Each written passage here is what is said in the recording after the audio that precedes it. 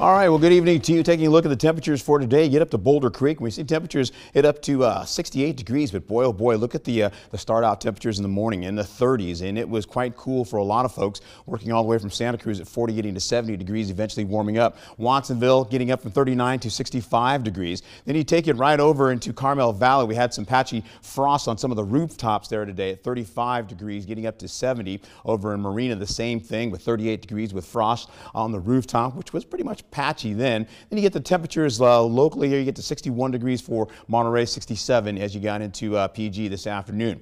Now from the north end of the Salinas Valley stretching to the south, we started out with 37 degrees in Salinas to 70 degrees for the high today. And then we started to see the temperatures kind of gradually warm up as you went down all the way to King City with temperatures at uh, 70 degrees for the high. In fact, in uh, Greenfield picked up the, the, high today down there, uh, 73 degrees. And you get into San Jose, 70 degrees there, touching 74 for Morgan Hill. Overnight temperatures were mostly in the 30s and 40s, getting from the 38 degrees to 41 to San Jose, and then 39 degrees to start in uh, Hollister, getting up to 70 degrees. Now, we're only going to cool you off as we go along, but take a look at today across the state. Yeah, these numbers, there was 89 degrees in Palm Springs, Palm Springs yesterday, down to 87 today with uh, mostly 70s getting along from San Diego to LA, all the way up to Santa Barbara, 64 at the airport at SFO in San Francisco, and then right around the states here, you can see all that cold air starting to spill right out of Bismarck, working right down into the Central Plains, getting all the way into St. Louis. 74 for St. Louis, 44 in Chicago. My goodness. All right, 67 for New York and all the way down in Miami,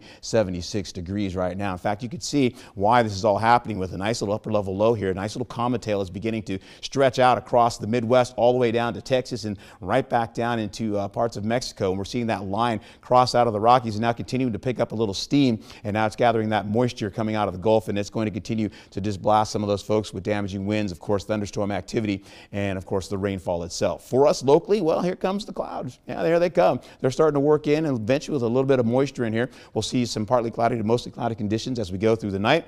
And then eventually you might catch a little drizzle as well in some locations. But we could see a chance of rainfall coming in for tomorrow. And this is the part here. You can see how it lifts up right here Well, high pressure still trying to be in charge and keep us sunny. But it doesn't look like it's going to happen. We'll have the high clouds and the mid-level clouds spilling over the top. And then eventually it all begins to break down the area of high pressure as this starts to slow down. Some colder air comes in and then it really starts to move the rainfall into our vicinity as we cross midweek. Here's a look down at the winds coming in out of the west. We'll see them at about 5 to 20 miles per hour, gathering some cloud cover coming in. And they come out, then they come back from the southwest and continue to ramp up the cloud cover over our local mountains, bringing in some light rainfall into Santa Cruz just around uh, the 10 o'clock hours we get into tomorrow. And then you're going to see this continue in uh, to uh, much of the evening now for your evening drive time. Light rainfall starts to move into the vicinity, right from Santa Cruz, turning the corner at Davenport and Bonny Doon, and then working its way down to Big Sur, PG, and then Carmel Valley and into Hollister. Well, that's the way it's going to play out for us. Eventually, we'll see it slip down and we clear out a bit as the winds continue to pick up a bit,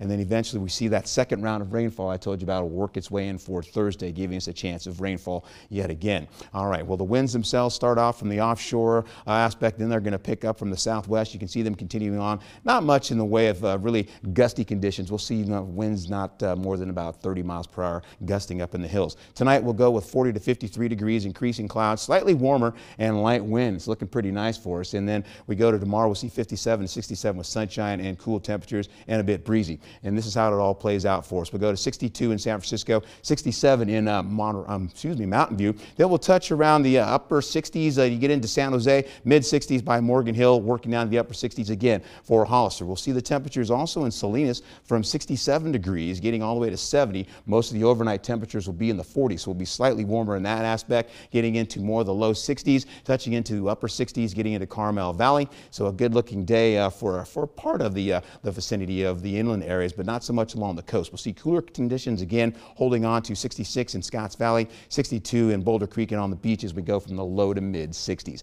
Your eight day forecast guides you in for a transitional period of cooler conditions and, of course, chances of rainfall moving in, turning to showers after midweek through Thursday.